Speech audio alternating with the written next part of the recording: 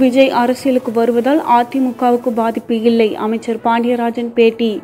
திருவேற்காட்டில் நடைபெற்ற வாக்காளர் பட்டியலில் பெயர் சேர்த்தல் நீக்கல் திருத்தல் தொடர்பான சிறப்பு முகாமை அமைச்சர் பாண்டியராஜன் ஆய்வு செய்தார். பின்னர் நிருபர்களிடம் அமைச்சர் பாண்டியராஜன் கூறியதாவது இரண்டாயிரத்தி பதினொன்றாம் ஆண்டு தேர்தலில் அதிமுகவுக்கு நடிகர் விஜயின் அமைப்பு முழு ஆதரவு தந்தது. விஜய் அரசியலுக்கு வருவதை பற்றி எந்த கவலையும் இல்லை. அதை வரவேற்கிறோம் என்று எங்கள் தலைவர்கள் கூறியிருக்கிறார்கள். விஜய் அரசியலுக்கு வருவதால் அதிமுகவுக்கு எந்த பாதிப்பும் இல்லை.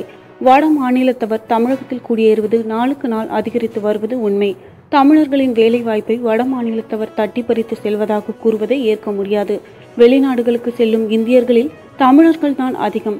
தமிழகம் அனைவருக்கும் பொதுவான மாநிலமாக மாறி வருகிறது. இவ்வாறு அவர் கூறினார்.